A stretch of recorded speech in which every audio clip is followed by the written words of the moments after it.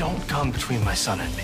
I am obligated to protect him. I am not going to allow you to keep me away from my son. Warning us not to get between him and Douglas was almost like he was making veiled threats.